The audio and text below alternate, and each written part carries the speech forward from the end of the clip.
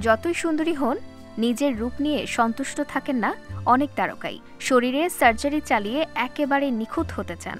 ঝুঁকি থাকলেও সুন্দর হয়ে ওঠা ভীষণ জরুরি। বলিউড ইন্ডাস্ট্রিতে এমনই এক ধারণা রয়েছে বহুকাল ধরে। এই স্রোতে গা ভাসিয়েছেন রেখা, শ্রীদেবী থেকে শুরু করে ক্যাটরিনা কাইফ, শিল্পা শেট্টি, মৌনী রায়ের মতো অজস্র বলিউড তারকা। তবে প্রিয়াঙ্কা চোপড়ার ব্যাপারটা একটু আলাদা। সুন্দর হয়ে ওঠার জন্য নয়, হাঁপানির সমস্যার কারণে একবার নাকে অস্ত্রোপচার করিয়েছিলেন বরফির নায়িকা। কিন্তু চিকিৎসকের ভুলের কারণে আসল মুখখানা হারাতে বসেছিলেন এই অভিনেত্রী।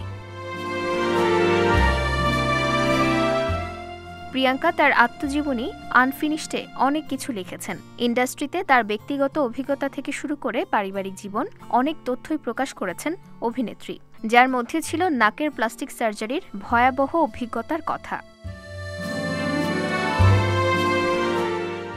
প্রিয়াঙ্কা লিখেছেন, আমার শ্বাস নিতে সমস্যা হচ্ছিল। এটি এমন একটি সমস্যা যা হাঁপানিতে আক্রান্ত কেউ এড়িয়ে যেতে পারে না। আমি এক পারিবারিক বন্ধুর সুপারিশ করা চিকিৎসকের কাছে গিয়েছিলাম। আমার নাকের ভিতর একটি মাংসপিণ্ড বা পলিপ আছে বলে জানান তিনি। বলেন, সেটা অস্ত্রোপচার করে বাদ দিতে হবে। সেই পলিপ কেটে বাদ দেওয়ার সময় নাকের মূল সেতুটি উড়িয়ে দিয়েছিলেন ডাক্তার। অভিনেত্রীকে তখন পলিপেক্টমির মাধ্যমে নাক ঠিক করতে হয়েছিল।